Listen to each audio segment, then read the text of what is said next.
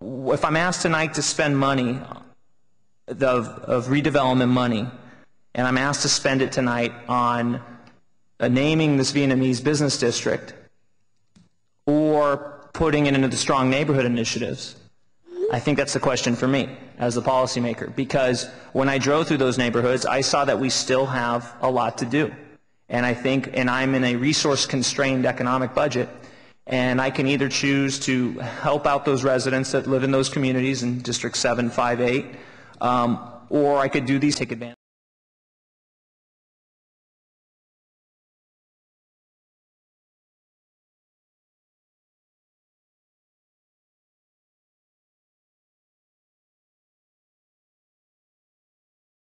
I would just say then, Doi Moon, Saigon, yeah.